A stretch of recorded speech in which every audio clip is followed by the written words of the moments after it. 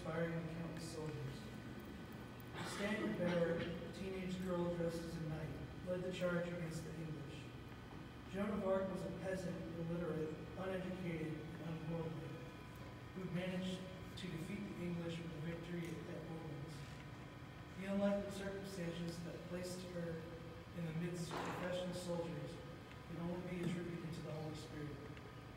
Joan came from a humble background, the daughter of a poor farmer, her parents were devout, so she was raised in an environment of highest understanding.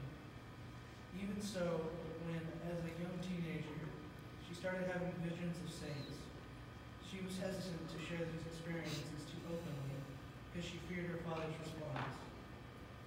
The visions continued for years.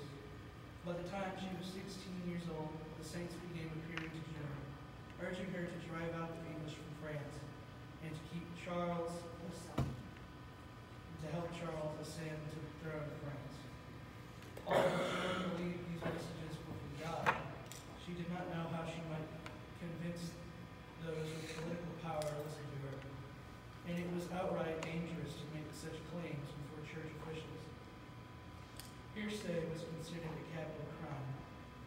Investigations resulted, especially as she triumphed on the battlegrounds, brandishing a 12-foot banner emblazoned with Party of the Kingdom of Heaven. The virgin warrior turned the course of a hundred years' war by fearlessly leading the French troops, not according to the counsel of Caesar's generals, but by the following by following the voice of God.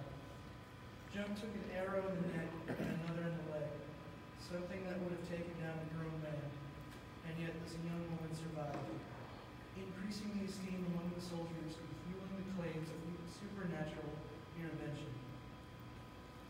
After a series of victories, she was betrayed and handed over to the British, an event she had prophesied about in detail. For more than a year, she was held on trumped-up charges of hearsay, despite the lack of any credible evidence against her. Nevertheless, Joan was burned at the stake, a horrific death. Admired for her tenacity and unwavering trust in God, Joan was It's on there. exonerated 25 years after her death. She was canonized in 1920. In the words of Pope Pius X, Joan, was, Joan has shown like a new star, destined to be the,